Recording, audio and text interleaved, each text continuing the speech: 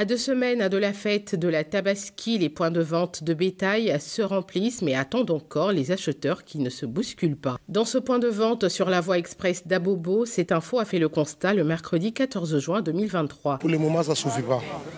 Mais il y en a, il y en a des arrivées après encore. Comme il reste bientôt deux semaines, il y a assez de camions en cours de route, mais ils ne sont pas encore arrivés. Quoi.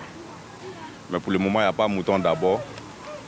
Mais comme il reste deux semaines là, d'ici une semaine, il y aura assez de moutons pour la communauté musulmane.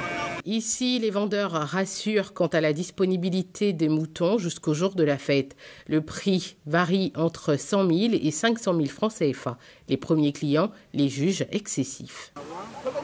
Bon, apparemment, le, le prix n'est pas aussi bon, mais on n'a pas le choix, mais on va faire avec.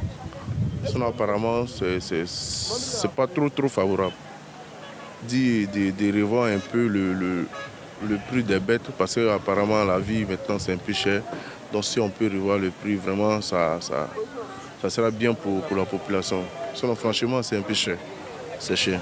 La fête de la Tabaski ou l'Aïd el-Kébir a lieu 70 jours après la fête de Ramadan. Selon les calculs, elle sera célébrée cette année le 28 juin 2023. À deux semaines, les points de vente de bêtes se préparent à faire face à une demande importante pour cette célébration religieuse.